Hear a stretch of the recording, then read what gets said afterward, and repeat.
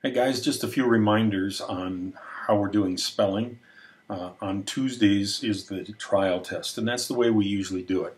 When we're in our classroom, uh, the expectation is everybody takes the trial test. And so uh, if you haven't been doing that, uh, that's an expectation. So please take the trial test. And take a cursory examination of the trial test. If you have a, a reason to believe that you have no more than one wrong, and that includes uh, definitions, spelling words and definitions, and the, the spelling words, uh, then take a, a, good picture of that, uh, front and back, and uh, send it to me so it's big enough that I can read and grade.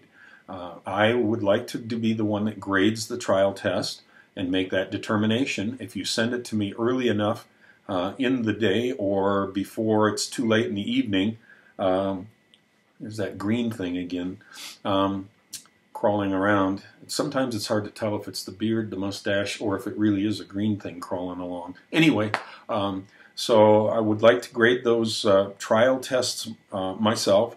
And so if you take a good photograph, take a, a, good photograph by taking a well-lit area. Some of them are coming in dark. It uses a lot of ink on my printer that way. And uh, take the whole image into the viewfinder from above and uh, that produces a pretty good uh, copy. And then I'll grade those, and then I'll try and get an email out that evening, Tuesday evening, uh, talking about who uh, doesn't have to take the, uh, regular test on Wednesday.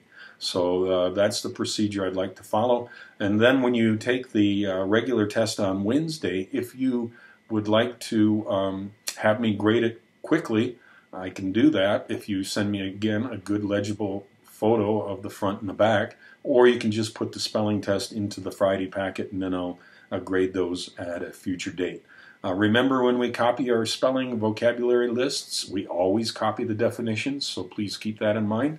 And uh, keep working hard. Uh, I know it's uh, sometimes difficult, but the flexibility is there to get your classwork done, and uh, then you can go outside and toboggan in the snow or something like that. Hey, have a great day, guys.